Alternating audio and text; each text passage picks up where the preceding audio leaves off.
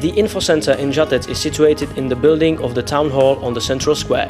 In the info center, you can get the necessary information related not only to Žatec and its surrounding areas, but it also offers different booklets, books and souvenirs.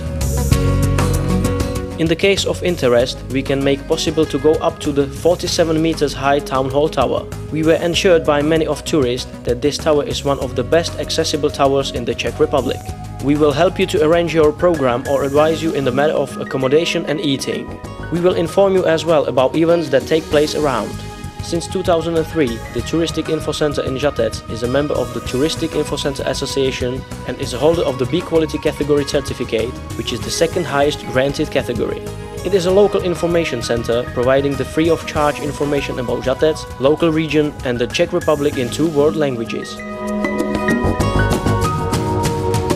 During the years 2001 till 2007, the TIC Center provided information and services for nearly 55,000 visitors. Regarding to the foreign visitors, their steps have been directed to Žatec from, for example, Germany, Russia, USA, Belgium, Australia, Japan, Denmark and many other countries.